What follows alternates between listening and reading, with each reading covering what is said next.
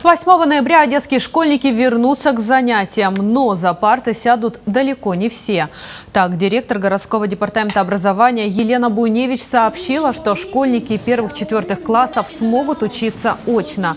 Но если родители младшеклассников предпочитают дистанционное обучение, то будет создан специальный класс, где школьники, родители которых хотят обезопасить ребенка, смогут обучаться дома. Если заниматься дистанционно захочет весь класс, класс школа поддержит инициативу. Дети средней и старшей школы будут учиться в онлайн-режиме. Исключениями станут те школы, где вакцинированы 100% сотрудников.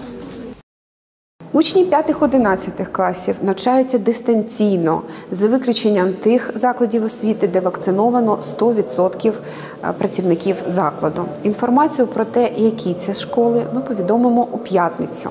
Крім того, зазначаємо, що і учні 5-11 класів можуть продовжити дистанційне навчання, якщо таке рішення буде спільно прийняте батьками та працівниками закладу освіти. То же время детские садики не прекращали свою работу. В департаменте подчеркивают, что если есть возможность оставить ребенка дома, то лучше это сделать.